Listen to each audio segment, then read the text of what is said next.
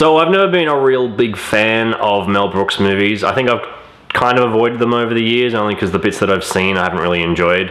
It's clearly not my style of humor, but Blazing Saddles is still a classic, and I did enjoy parts of it. I definitely liked the sort of meta commentary on filmmaking in general. That was a lot of fun.